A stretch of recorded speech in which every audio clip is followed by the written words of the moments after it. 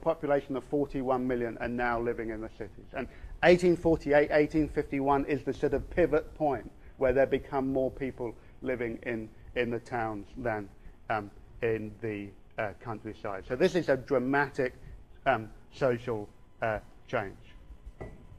London was, of course, a big part of this story because there was no other city of the scale of London. It consistently accounted for somewhere between 10 and 15 percent of the population of Britain um, as a whole. There was no other city in the world of its size. Okay, Paris had been an equivalent size in 1750, but by 1900, London was two and a half times uh, the size of um, uh, uh, was two and a half the size of the time size of Paris, and New York was half the size of London um, at that point. So London is a juggernaut. You know, there's nothing else like it, but there are loads of other cities growing just as fast as London, just on a smaller scale. Indeed, some cities are growing even faster. The new industrial cities in the north of England grow much, much more dramatically, even from a smaller uh, uh, base. So I'll give you uh, two um, examples of this. Bradford um, uh, in Yorkshire in 1801 had 13,000 people living there. Um, in 1851 had 104,000 people living there. Um, uh, 13,000 to 104,000. Manchester um, had 75,000 people living in it in 1801. By 1851, it had over 300,000. Okay, so in the space of a couple of generations, really, these new industrial cities had grown up um, uh, overnight. And by 1851, there were at least nine cities a, with a population of more than 100,000, whereas in uh, 1800 there'd just been just one, and that was London. So people moving to the towns big time, but that's not the only pattern of migration. Migration was also increasingly imperial in scope. Okay? And we have to think of the mass migration of peoples across the British Empire. Slavery is obviously, you know, the key example of that. Three million slaves moved um, uh, uh, uh, in British ships during the 18th century. In the beginning of the 19th century, when they replaced slavery with forms of indentured labourers, um, uh, equal numbers of people are transferred. By the end of the 19th century, something like 4 million indentured labourers, labourers had been moved across the, um, uh, uh, the British Empire. Ireland is another great example of this. Um, the Irish were the first colonial population to move to Britain. Okay? Um, and that happens very dramatically after the famine, which I'll talk to you about next week. So in 1841, between 1841 and 1861, the, the Irish population in Britain doubles from 415,000 to 800 and my goodness, bless you. That was a stunning, stunning example of the sneeze.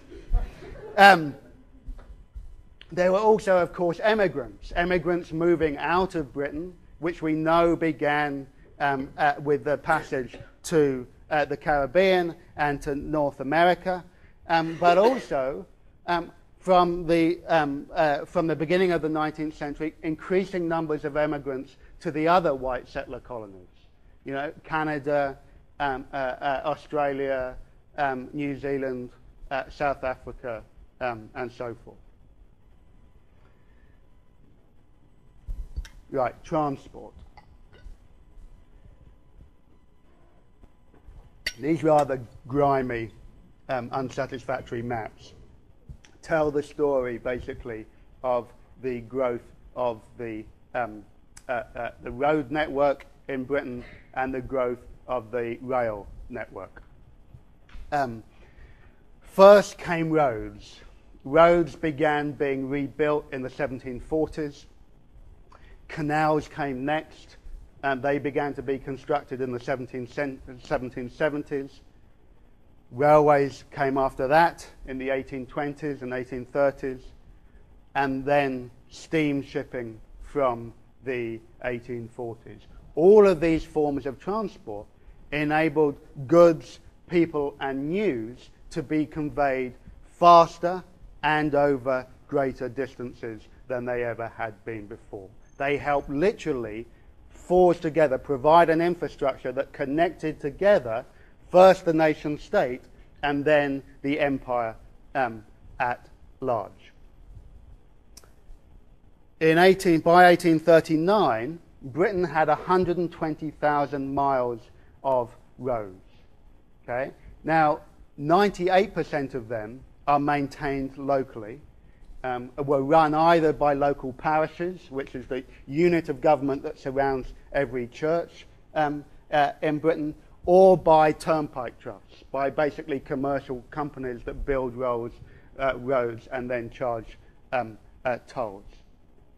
There are basically only two state constructed road projects, and surprise, surprise, surprise, they're built to, for military purposes okay, for the conveyance of troops effectively from London up to Edinburgh after, um, and uh, from uh, London through Wales and into Ireland uh, through Holyhead, up here. Uh, up here. Um, by the 1830s, the um, there are new standards, new national standards laid down that roads now have to meet, with a smooth macadam and macadamized paving um, and mounded in the middle so you could have drainage either side. In other words, roads were no longer going to be basically mud and dirt that you had to go around the edges of. Now they had to have smooth, uh, smooth surfaces with good drainage in order to um, uh, facilitate speed of travel, not least for the government's own postal system, which was established um, uh, uh, in the 18th century but became hugely important from the 1780s as a way of conveying official information by the government um, uh, and, of course, uh, uh, passengers as well. They used to ride um, inside the um, inside the, inside the carriages or sometimes on top. By the 1830s, 1,500 coaches were leaving London every week um, uh, and spreading right across um, the country, and they were travelling five times faster than they had done in the 1750s. So the figures that you see at the bottom here uh, are the, the, the, the reduction of the amount of time it takes you to travel from Bristol to London. I mean, very um, uh, very dramatic uh, differences. The country is becoming smaller, is becoming more uh, uh, connected. The same thing happens, of course, with rail. And rail, um, uh, which really begins taking off in the 1830s and 1840s and becomes a colonial phenomena in India, especially in the 18 uh, in the 1850s. And again, is a way of knitting together not just uh, uh, the nation but the empire. So when Phileas Fogg has his wager that he can get round the world in 80 days, he's having his wager that he can do that because a new railway has just opened up um, uh, in Calcutta, um, uh, uh, um, um, out of Calcutta, and he reckons he can do it from steamships and, and rail and get round the whole world. That, that whole story is predicated upon this process of the world getting um, smaller and faster.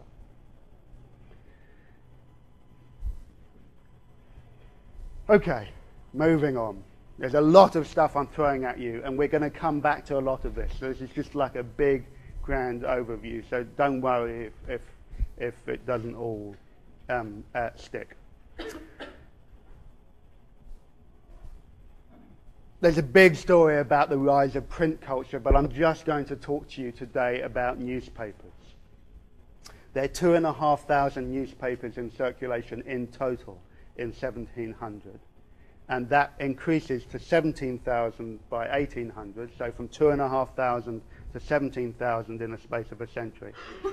by 1844, they're 55,000. So really substantive leap again at around the same time at the beginning of the 19th century. So that's two and a half to 17 to 55, basically 1700, 1800, 1844. There's one provincial newspaper, that is one newspaper published outside of London in 1700. Um, and by 1855, they're 289. Okay? And, and that's after 1855, it goes absolutely crazy because they repealed a, a, a, tax on newspapers that, that means that it goes crazy. But um, moreover, more and more people are being able to read these newspapers. Literacy rates increase from 50 to 66% between 1750 and 1850. But even if you were illiterate, many of these papers had multiple readers. Okay, that is to say, people read newspapers out aloud at the pub, on the on the green, you know, um, uh, uh, uh, uh, at home. Okay, it's estimated that every London, every newspaper in London at the beginning of the 19th century was read by at least 30 people. Okay, so this is not this is a, a, different type of viral news spreading through um, through um, the hard copy of the paper um, itself. Similar story about the post. I've already talked to you about the postal system being part of the key catalyst for the development of roads. Um, but in 1840, Britain introduces the penny post, where you could send a, a, a letter um, for a penny over any distance. 57 million letters are sent in that year alone after the introduction of the penny post. Okay? So again, news, information, communication spreading with greater ease and facility across uh, the, um, uh, uh, the country.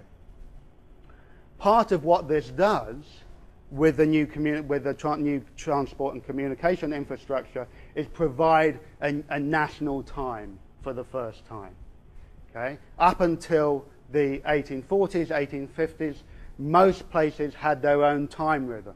Okay, and it was derived from, of course, the sun still. And they had their clocks, but basically every town, you know, every big town had its own town rhythm, which meant when the railway started going, very inconveniently, you could arrive at a destination, having left London, say, at 11 o'clock, and you could pull into to, to, to Manchester, and there'd be a, you know, a 10-minute time difference between those two, um, uh, between those two cities.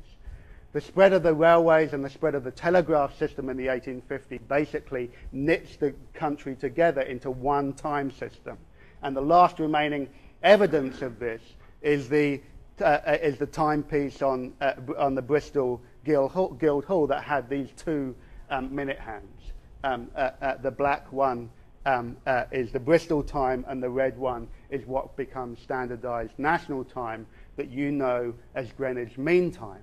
Greenwich Mean Time, okay, gets established in 1884, okay, that Greenwich becomes the center of an imperial and global time system um, uh, in 1884, four years after they passed the legislation finally that everybody in Britain has to get behind Greenwich um, Mean Time.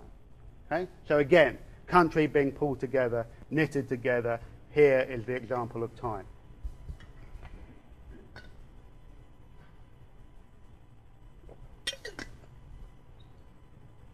I'm going to have to speed up. So you think I'm going fast now, but you haven't seen anything yet. Um, uh, the story that I basically want to tell here is that in this new society, okay, where the country is getting smaller, people are more mobile over greater distances, people, people are now beginning increasingly to live around people that they don't know rather than staying in communities where they know everybody new patterns of association and sociability have to get elaborated. Okay, you have to try and figure out how you behave around strangers. Okay, so there are many, many, and I'll talk to you about more about this in a couple of weeks. I think there are many, many guides written to how you behave yourself in a railway compartment with people that you don't know, how you walk down the street, whether you engage people with eye, eh, with eye contact, whether it's okay to, you know, to spit in front of them, you know, whether you should fart in a, in a, in a public place, all of this type of things. Literally, all the things that we take for granted, all the way, ways that we can seamlessly move through the world because we just, you know, have learnt that from birth. all of this was having to be established pretty much for the first time.